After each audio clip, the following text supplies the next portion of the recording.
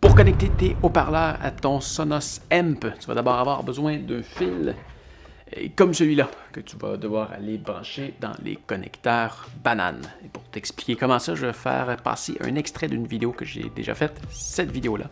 Et si tu veux passer l'extrait parce que tu l'as déjà vu, tu peux passer à ce temps.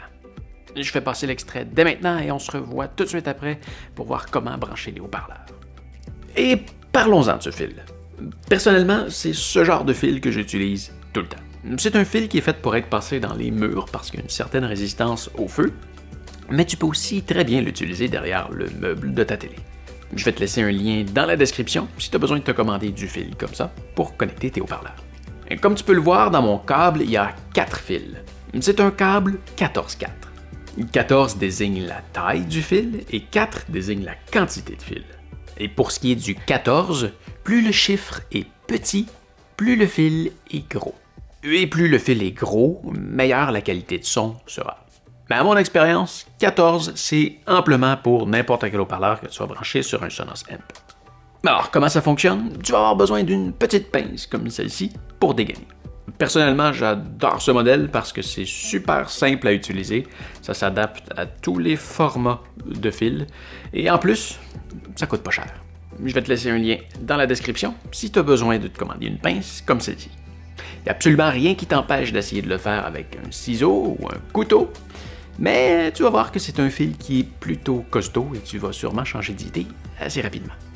Donc en premier, il faut défaire délicatement la première gaine sans trop forcer pour être certain de ne pas couper la gaine des autres fils en dessous. Si ça fait ça, c'est pas bon. Ça risque de faire un coup de circuit éventuellement. Alors vas-y bien doucement et garde-toi une certaine longueur pour travailler. Il ne suffit que de créer une légère incision et puis de plier le fil à répétition pour que la gaine se sectionne.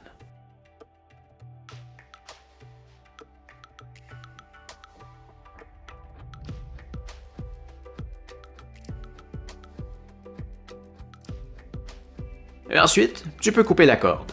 Elle sert à couper la gaine davantage si tu en as besoin. Ensuite, il va falloir dénuder délicatement l'extrémité de chacun des fils. Je dis délicatement parce qu'il ne faut pas que tu coupes des brins de fil qu'il y a à l'intérieur. Ça n'a vraiment pas besoin d'être long. Ça doit être juste assez long pour aller s'installer dans le connecteur, mais pas trop long pour que ça dépasse non plus. Si les fils dépassent, ils risquent de se toucher éventuellement et ça va créer un coup de circuit. Je t'invite aussi à visser l'extrémité des fils tout de suite pour éviter qu'ils finissent par s'éparpiller dans tous les sens. Ça les solidifie. Si tu as une paire de fils, rouge et noir, c'est parfait. Mets le rouge avec le rouge et le noir avec le noir et assure-toi de faire la même chose avec le haut-parleur. La couleur est indiquée d'un seul côté du connecteur et à l'arrière du Sonos Amp. Si tu as un fil comme le mien, il n'y a pas vraiment de règle officielle pour ce qui est des couleurs à utiliser, tout ce qui est important, c'est que le négatif et le positif soient branchés au même endroit pour l'ampli et les haut-parleurs. Le rouge est le positif et le noir est le négatif. Mon standard personnel est d'utiliser pour le haut-parleur gauche rouge comme positif et noir comme négatif, donc dans ce cas-ci rouge dans rouge et noir dans noir, et pour le haut-parleur de droite, j'utilise blanc comme positif et vert comme négatif, donc dans ce cas-ci blanc dans rouge et vert dans noir. Il ne faut pas confondre dans ce cas-ci le cercle blanc, ça peut être mélangeant, mais il est là pour illustrer l'intérieur noir. Ça aurait été un peu difficile d'illustrer un cercle noir sur une pièce noire. Si tu veux faire un vrai travail de pro, tu peux même écrire sur le fil où est-ce qu'il va. Sur le connecteur de Sonos, il ne suffit que de dévisser les connecteurs, insérer le fil dénudé et puis resserrer. Tu peux forcer très fort, c'est bien solide.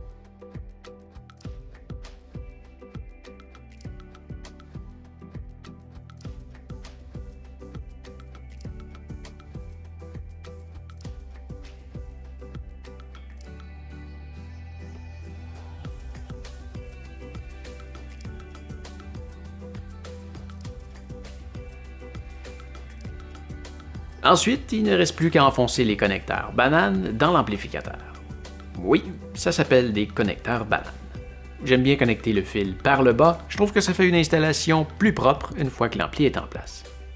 Passons maintenant à la connexion des haut-parleurs. Et attention, je suis pas électricien, j'ai seulement installé des centaines de haut-parleurs dans ma vie pour un magasin d'électronique. Je me porte pas garant si tu fais sauter quoi que ce soit, je veux seulement t'aider à faire tes branchements.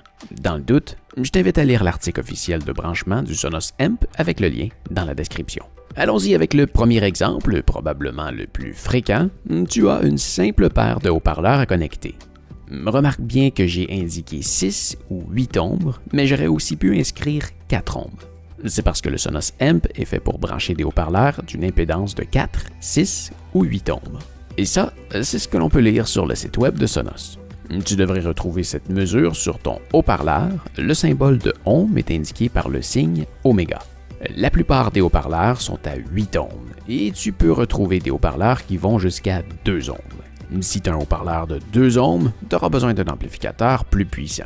Mais j'entrerai pas dans ces détails-là aujourd'hui, tu as très probablement un haut-parleur de 8 ohms. Encore une fois, regarde sur ton haut-parleur, c'est très certainement indiqué quelque part. L'amplificateur Sonos Amp a deux amplificateurs, un pour le canal de gauche et un pour le canal de droite. Donc, si tu souhaites brancher une simple paire de haut-parleurs, regarde sur ton haut-parleur, tu retrouveras deux prises, une étant négative et l'autre positive. Négatif est représenté par noir et positif est représenté par rouge. Alors, branche simplement le fil rouge entre le connecteur rouge de ton Sonos Amp jusqu'au connecteur rouge de ton haut-parleur. Puis, connecte le fil noir avec les connecteurs noirs du Sonos Amp et de ton haut-parleur. Remarque bien que sur l'ampli, tu as un canal de gauche et un canal de droite identifiés par left et right. Assure-toi de connecter les connecteurs au bon haut-parleur si gauche et droite fait une différence dans la pièce que tu te trouves. Pour les exemples suivants, je vais faire simplement les explications avec le canal de gauche parce qu'il faut simplement faire la même chose avec le canal de droite ensuite. Donc, si maintenant tu souhaites brancher plus d'un haut-parleur à ton Sonos Amp, il y a différentes façons de le faire. La première sera de faire des branchements en parallèle. Donc, si tu as deux haut-parleurs, et attention, j'ai bien indiqué des haut-parleurs en 8 ohms. Ne fais pas ça avec des haut-parleurs de 6 ou 4 ohms, ce sera trop demandant à ton Sonos Amp et tu risques de le faire sauter. Ou probablement juste tomber en mode de protection. Donc, la première façon de le brancher en parallèle serait de brancher le premier haut-parleur, comme dans le premier exemple, et puis de brancher le deuxième haut-parleur dans le premier. La raison pour laquelle j'ai dit qu'il était important d'avoir des haut-parleurs de 8 ohms, c'est qu'en faisant ce branchement en parallèle, l'impédance des deux haut-parleurs est maintenant de 4 ohms, soit la limite du Sonos Amp. Avec deux haut-parleurs de 6 ohms, l'impédance serait de 3 ohms, ce qui pourrait endommager le Sonos Amp. Ce qui veut aussi dire qu'avec ce type de branchement, tu ne pourrais pas brancher un troisième haut-parleur en parallèle, l'impédance serait alors de 2.6 ohms. Par contre, Sonos dit sur son site web que le Sonos Amp peut brancher jusqu'à trois haut-parleurs avec ce type de branchement s'il s'agit des fameux haut-parleurs encastrés Sonance qu'ils vendent sur leur propre site web. Je vais t'ajouter un lien dans la description si tu souhaites commander ces haut-parleurs. Une autre façon de faire le branchement en parallèle, et encore une fois avec deux haut-parleurs, serait de brancher chacun des haut-parleurs directement dans le Sonos Amp. Et attention, on se limite toujours à deux haut-parleurs 8 ohms, à moins qu'il s'agisse de trois haut-parleurs Sonos Sonance. Mais enfin, si tu souhaites brancher encore plus de haut-parleurs, il y a toujours la méthode en série. Celle-ci consiste à brancher le positif du Sonos Amp dans le positif du premier haut-parleur, puis de brancher le négatif du premier haut-parleur dans le positif du deuxième puis de brancher le négatif du deuxième dans le positif du troisième, et ainsi de suite jusqu'au dernier haut-parleur auquel on doit brancher le négatif dans le négatif du Sonos Amp. Techniquement, tu peux brancher vraiment beaucoup de haut-parleurs de cette façon, mais le volume sera réduit à chaque nouveau haut-parleur branché. Si tu veux avoir un contrôle plus précis sur plusieurs haut-parleurs, tu peux aussi utiliser une boîte qui te donne un contrôle de volume sur chaque zone. Ça ne te donnera pas autant de liberté que l'application Sonos avec plusieurs amps, et ça jouera certainement pas aussi bien. Mais, si ça t'intéresse, je t'ai laissé un lien dans la description pour que tu puisses emmagasiner. Mais, évidemment, si le budget n'est pas un problème et que tu as plusieurs haut-parleurs à connecter, la meilleure solution serait d'avoir plusieurs Sonos Amp. Alors voilà, on a vu environ toutes les façons que tu pourrais connecter tes haut-parleurs à Sonos Amp.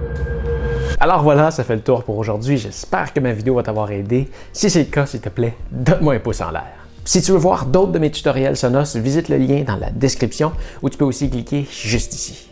Si tu as des questions à propos de Sonos, n'hésite pas non plus à m'écrire, ça va peut-être me donner une idée pour une prochaine vidéo. Si tu veux magasiner un produit Sonos, tu peux aussi regarder avec le lien dans la description. Tu vas pouvoir magasiner au travers plusieurs magasins. Et si tu as besoin d'aide à choisir le bon parleur pour toi, je t'invite à regarder ma vidéo pour t'aider à faire ton choix juste ici. Mais enfin, oublie pas de t'abonner à ma chaîne pour me retrouver plus facilement la prochaine fois que tu as besoin d'aide. Tu peux aussi jeter un coup d'œil à ma chaîne principale où je fais des voyages un peu partout dans le monde. Je suis certain que tu vas aimer. Allez, fais attention à toi. Salut!